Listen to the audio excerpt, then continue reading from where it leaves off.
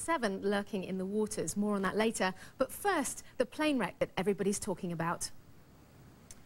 This is all that's left of adventurer Steve Fossett's plane. The mangled wreck was found in Madera County, California, near a peak in the Sierra Nevada mountain range. Fossett has been missing since September 2007 when he took off in a single-engine Bellanca plane and never returned. At the crash site, airplane debris is spread out over 120 meters in all directions, suggesting the plane smashed into the mountain and hard. This is what Madera County Sheriff John Anderson had to say about the scene. It appeared to me, just looking at the pictures, that it was a head-on crash into the side of a mountain, into a rock. The plane moved up in an upward direction for 100 feet or so uh, and disintegrated.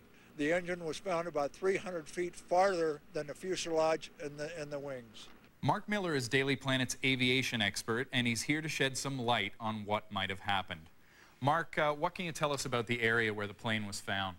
Well, anybody who's flown in that area, and there is a lot of traffic that goes through that general aviation, California to Arizona, Nevada, that's very, very high country in there. Uh, those peaks, 10, 12,000 feet. And you've got the desert on one side, so it's very hot. You've got lots of rising turbulent air, and uh, it can be very, very rough. In fact, uh, the day after the crash or the day after Mr. Fossett went missing, they actually had to call off the search because uh, the, the weather was, was so sort of rough, or the air was so rough uh, airplanes couldn't fly and couldn't search. It was just simply too dangerous. This is the kind of air, the kind of turbulence that can break airplanes up and, and, uh, and basically, you know, tr trigger accidents because of in-flight breakup. And obviously, whenever you're flying in, in high altitude and heat, density altitude is a consideration, uh, particularly for single-engine pilots. Uh, what can you tell us about the conditions that day? Well, it was a hot day. It was clear air, but it was a hot day, and uh, you know, as the day progresses, uh, you get sort of more buildup, the risk of thunderstorms. I believe there was a thunderstorm later in the day. Mr. Fossett took off about 8.45 in the morning. He had five hours of fuel on board his Super Decathlon. Uh, we don't know if he landed somewhere, you know, maybe put down in one of the dry lake beds and had lunch. Uh, and later in the day, perhaps he was trying to pick his way back home.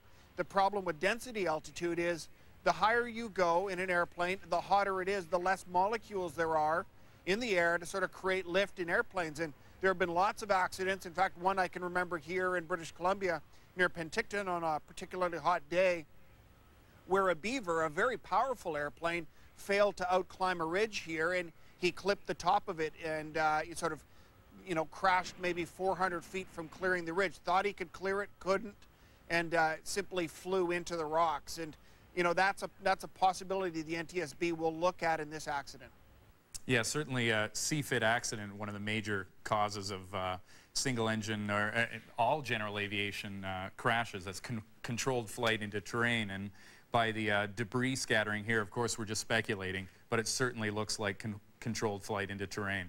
There's certainly no indication here of an in-flight breakup, Ed, you're right. Uh, the, uh, if the wreckage was scattered over a much larger area, uh, you would start to you would start to track where the flight breakup was. The pieces furthest away from the main part of the wreckage along the sort of flight path would indicate how that airplane broke up. If you found the tail back three miles, you know that the breakup started at the tail, and from that they can sort of reconstruct what the airplane might have been doing. There's one interesting thing here. This airplane was likely carrying a GPS, and there have been accidents in the past where investigators have been able to go into that GPS system, retrieve the last few data points, and those data points would include time of day, altitude, speed.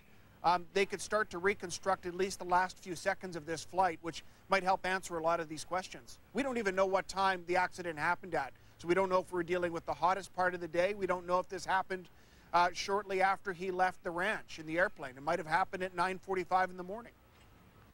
Now, we know the plane uh, was equipped with an ELT, an emergency locator transmitter. Why do you think the beacon uh, did not go off?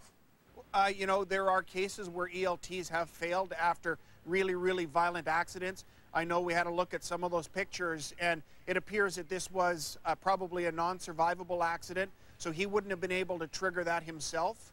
Uh, the ELT is uh, triggered, the emergency locator transmitter is triggered by basically G-forces. Uh, impact causes a switch to go off inside the ELT, which starts to transmit. But there are cases where an airplane hits the ground or hits uh, terrain so hard that the ELT simply is destroyed and fails. The other interesting thing here is Mr. Fossett was wearing a uh, very, very unique, specially designed watch uh, that contained an ELT as well.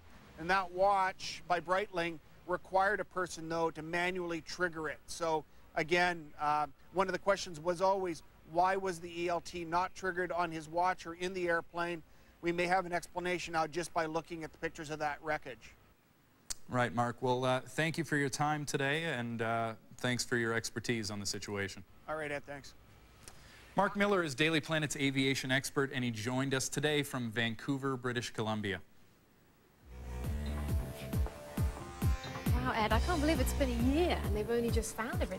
It's actually not that peculiar. I mean, it's pretty remote territory. Uh, I actually had a plane crash recently where I was the pilot, and uh, I told people specifically where the plane was. Luckily, my results were much better. No one was injured, but uh, even telling people where the plane was, people couldn't spot it from the air. So it, it, it's not peculiar at all. It's a fascinating story. Absolutely.